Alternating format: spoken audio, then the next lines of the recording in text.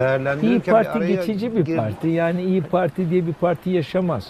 Çünkü Türkiye'de bakın geleneksel e, işlevi olan, kökleri olan partiler yaşıyor. Yani MHP Türkiye'de geleneksel bir güç.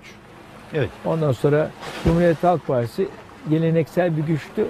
Ve o geleneklerden koptu ama gene de bir arkada bir e, gelenek, bir birikim bilmem ne olduğu için o e, miras yedi gibi onu yiyerek e, yine böyle bir parti var.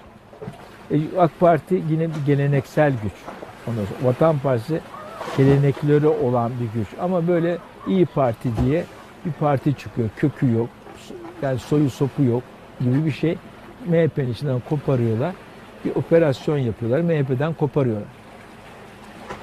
Sırf MHP'yi bölmek için e, bir operasyon partisi. İşi bitti.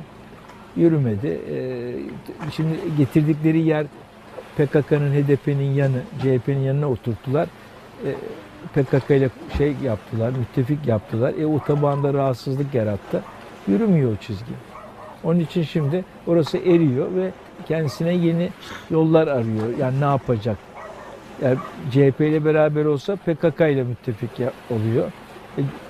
E, e, ama geldi oraya biraz bağlandı.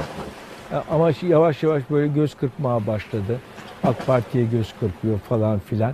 MHP de bunu gördü. Evinize, yuvanıza dönün çağrısı yaptı.